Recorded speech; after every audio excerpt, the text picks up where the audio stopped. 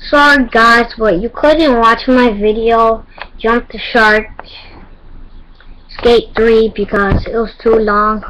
Only could record up to 15 minutes or shorter. Sorry about that.